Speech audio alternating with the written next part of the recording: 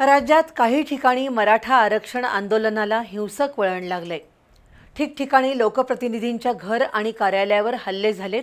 त्यामुळे खबरदारीचा उपाय म्हणून कोल्हापूर पोलिसांनी उच्च आणि तंत्रशिक्षण मंत्री चंद्रकांत दादा पाटील यांच्या संभाजीनगर परिसरातील घरावर कडेकोट पोलीस बंदोबस्त तैनात केलाय. नामदार पाटील यांच्या निवासस्थानाला एखाद्या पोलीस छावणीचं स्वरूप आलंय तर भाजप कार्यालयातही पोलीस बंदोबस्त ठेवला आहे मराठा आरक्षण मागणीसाठी मनोज जरांगे पाटील यांनी पुन्हा एकदा उपोषण सुरू केले. गेले दोन दिवस त्यांना पाठिंबा दर्शवण्यासाठी राज्यात ठिकठिकाणी आंदोलनं सुरू झालीत.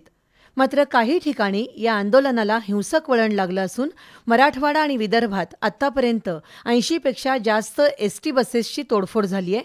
त्यामुळे राज्याच्या छत्तीस एस टी आगारांची वाहतूक पूर्णपणे बंद झाली आहे.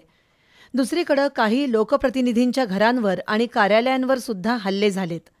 बीड जिल्ह्यातील आमदार प्रकाश सोळंके संदीप क्षीरसागर प्रशांत बंब यांच्या घरावर हल्ले झालेत. त्यामुळे खबरदारीचा उपाय म्हणून पोलिसांनी आता मंत्र्यांच्या घरांना संरक्षण देण्याची भूमिका घेतली आहे.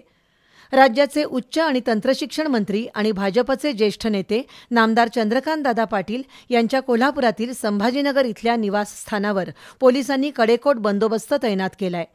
रॅपिड ॲक्शन फोर्ससह सुमारे शंभर पोलीस कर्मचारी या ठिकाणी तैनात असल्यामुळं नामदार पाटील यांच्या निवासस्थानाला अक्षरशः पोलीस छावणीचं स्वरूप आले शिवाय भारतीय जनता पक्षाच्या नागाळा पार्क इथल्या कार्यालयावर सुद्धा पोलीस बंदोबस्त तैनात करण्यात आलाय.